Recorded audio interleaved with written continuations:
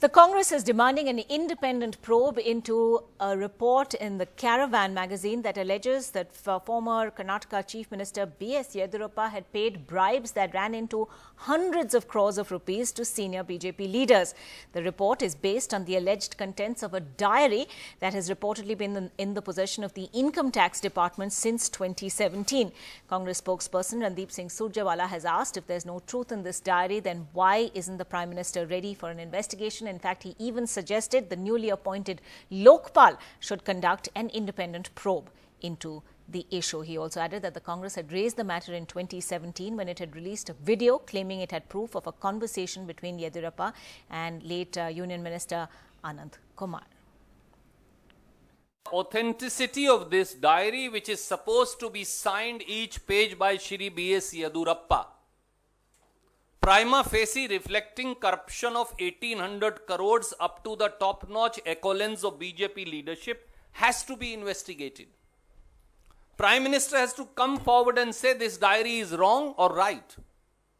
Prime Minister has to come forward and say whether 1800 crores of bribes were received or not received.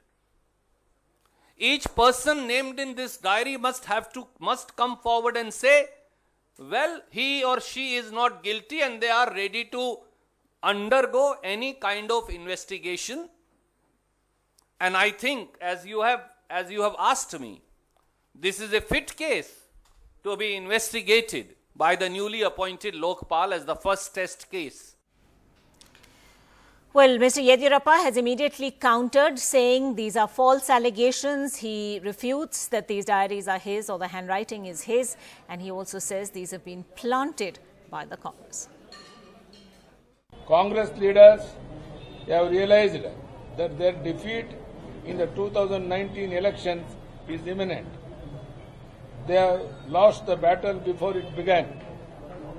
To be frank, all the issues being raised by Congress, including one raised by them today about alleged payment of crores of rupees, has been already inquired and found that documents are fake. I am discussing with our senior advocates to file a defamation case against the concerned person also. Thank you. Dhanyavad.